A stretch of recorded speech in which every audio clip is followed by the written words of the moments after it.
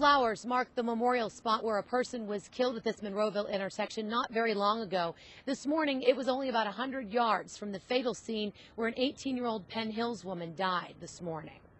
Right around 5 this morning, a white Chevy Lumina smashed into this utility pole, killing the female passenger in the front seat, 18 year old Brandy Lynn Morris of Penn Hills.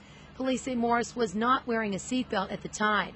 Investigators got on the scene within about 30 seconds, but it was too late. Uh, a Monroeville police officer uh, sitting in a parking lot uh, doing reports heard a loud crash and saw a flash of light in the air from which ended up being the transformer from the tele- from the power on the telephone pole. In all, four people were in the vehicle. Medics took a 16 year old female passenger to Children's Hospital. The male driver and another male passenger didn't suffer any serious injuries. Now, in this morning's fatal crash, police took both of those men in the vehicle to the hospital for checkups before taking them to the police department to question them more about what happened in the moments leading up to this deadly one car crash. Now, this crash happened about a football field's length away from a fatal crash scene from the spring.